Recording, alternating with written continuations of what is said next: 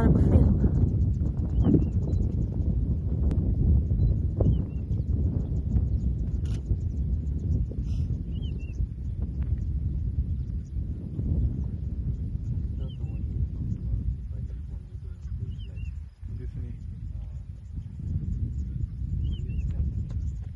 Satak.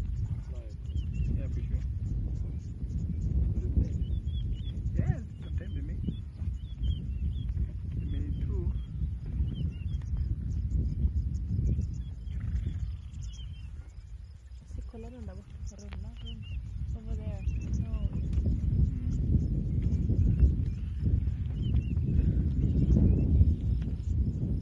Nice the wildlife peaceful, yeah.